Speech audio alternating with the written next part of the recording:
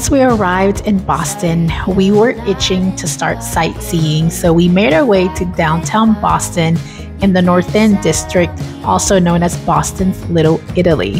When I tell you, it's like walking the streets of Italy. It was so beautiful, and this area had such a European flair. We then made our way to Monica's Mercato, which is an Italian deli shop that specializes in Italian sandwiches. So we ordered sandwiches and took them to a little public park nearby and enjoyed the sunshine, filling our bellies, and admiring all the architecture that was around us. Boston is so beautiful for the buildings that they have. The street of North End has tons of pastry shops, coffee shops, restaurants, boutiques endless amount of restaurants. You have plenty of choices. And then we just continued walking the streets, admiring all, all the architecture in North End District. We even ran into the Paul Revere House and just continue soaking up the history that this city has to offer.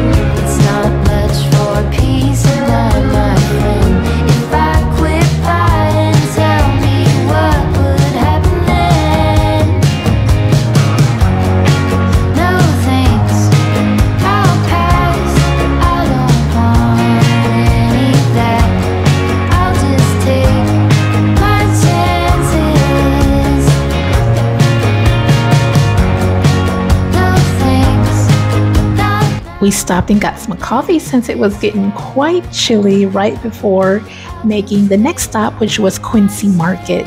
This is a little entertainment area as well. And once you walk inside the market, there's it's almost like a food court where there's tons of food options. So if you don't know where to eat, there's plenty to choose from.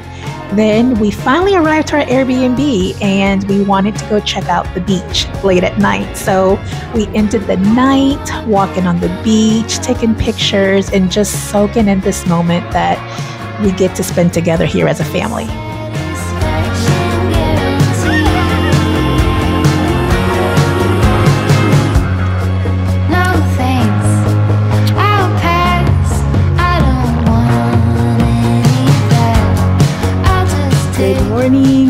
From Boston. I hope you guys are having a wonderful and beautiful day.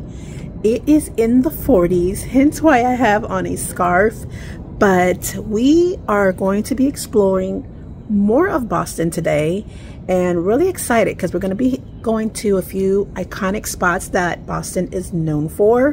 One place where we're going to try to go to is go to um, Harvard University. I am so excited to see this the prestigious school of Harvard and then we're going to go ahead and possibly head our way to Beacon Hill which is another iconic spot and then just go to a few more places. But I will tell you that I don't know what took me so long to get me here to Boston. I highly suggest coming here because it is such a beautiful city.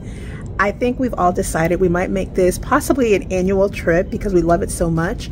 And this time in October the weather is wonderful so I am going to get my shoes on. I always feel like my shoes are always the last thing that I put on before I leave the house, but going to get my shoes on, route, get the gang together, and then we're going to go ahead and head out and go ahead and explore this beautiful city, possibly hit up a coffee shop because you know I cannot function without coffee, and then just enjoy the day. So I am going to get ready and we're going to be on our way.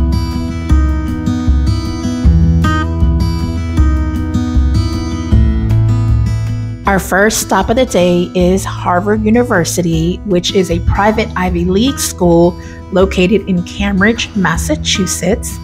The acceptance rate of this school is 3% with a graduation rate of 98%. So you basically need a 4.0 GPA average to be accepted. Some notable alumni are Natalie Portman, Mark Zuckerberg, Matt Damon, Tommy Lee Jones, Barack Obama, John F. Kennedy, George Bush, and that's just naming a few.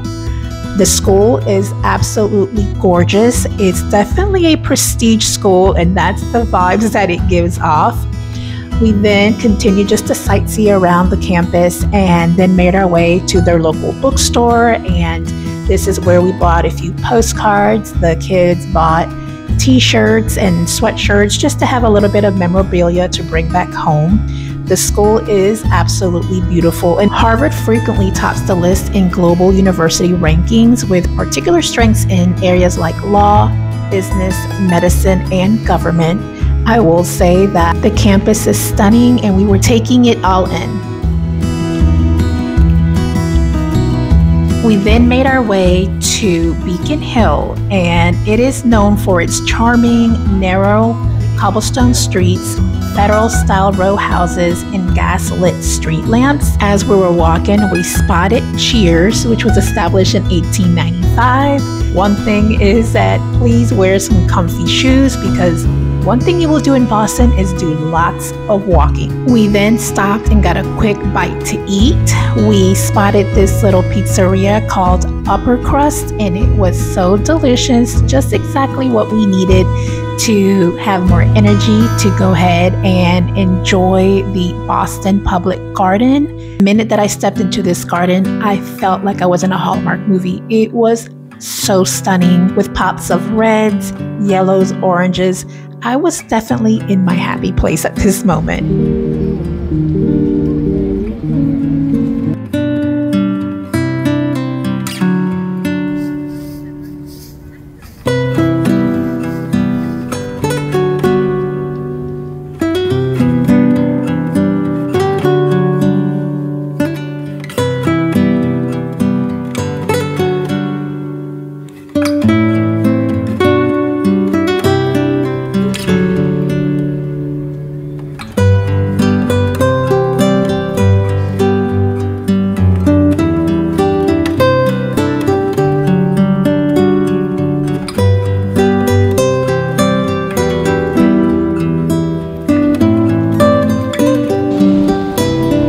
Our next stop was the Boston Public Library, which was founded in 1848. This was the first large free municipal library in the United States. It was also the first public library to lend books, have a branch library, and have a children's room. There is so much history in this library that you can get lost for hours looking at all the architecture, books, every detail and crevice of this library was so beautiful. And this was also designed by architect Charles Follen McKim.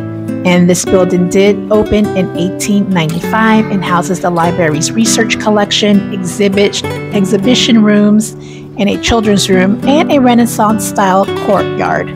We enjoyed the courtyard for a little bit and decided to hydrate and just rest and admire just the beauty of this building.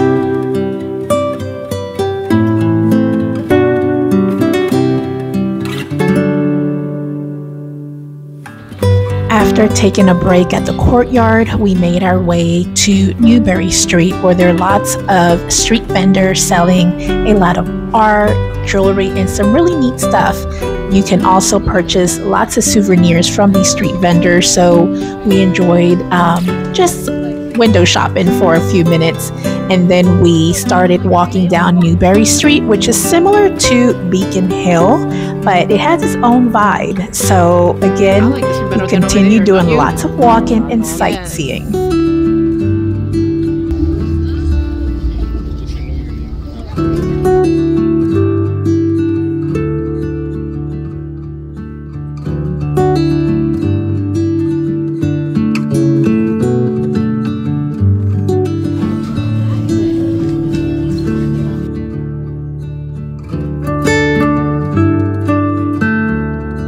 decided to have one more final stroll through the Boston Harbor and then ended the night back in North End to enjoy a delicious Italian dinner.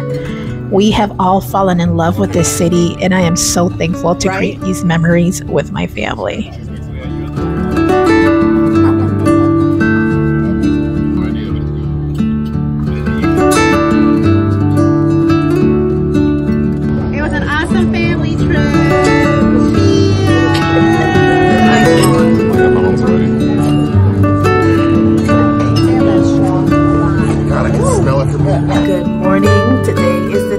That it's time to head back home.